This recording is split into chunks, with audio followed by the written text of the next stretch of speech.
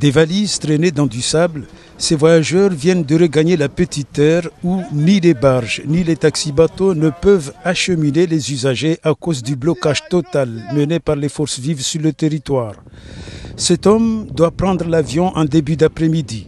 Il a quitté Mtsamoulou dans l'extrême sud de la Grande Terre en prenant une vedette qui a pu déjouer les trajets classiques entre les deux îles. 80, 80 minutes. Qui à peu près 80 minutes. Comme je, prends l'avion aujourd'hui, c'est pour ça que euh, j'ai pris le bateau pour venir ici, prendre l'avion en fait. Celui-ci est dans le sens inverse. Il vient de regagner Mayotte après un séjour dans la région. Même situation, il faut trouver une embarcation pour atteindre l'autre rive. Et là, j'arrive pas à rentrer chez moi parce qu'il n'y a pas de moyen, il n'y a pas la barge, il n'y a pas le, les bateaux taxis Les bateaux taxis, il n'y en a pas, j'arrive pas à rentrer. Je suis là coincé à Petite Air. Ceux qui ont pu regagner l'aéroport ont dû jouer l'histoire du lièvre et de la tortue. Il faut partir à temps. J'étais obligé de partir à de Bueni depuis hier matin pour arriver à, mon, à mon voyage, pour ne pas rater mon, mon, mon avion. J'ai profité de l'ouverture de ce week-end pour arriver jusqu'à Mamoudzo.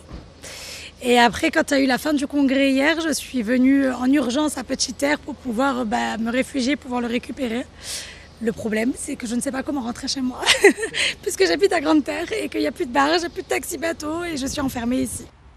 Dans cette crise sociale de plus en plus pesante, les usagers qui soutiennent la grande majorité le mouvement des forces vives exhortent ces dernières à faire preuve d'indulgence vis-à-vis des voyageurs. On a des gens qui sont venus en vacances ici et qui doivent rentrer en métropole ou à La Réunion pour travailler. Donc, on est obligé de les prendre et le déposer ici pour qu'ils ne perdent pas leur billet.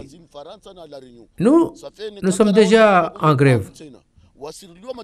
Donc, on peut continuer tout en étant indulgent envers les autres. Ça serait bien.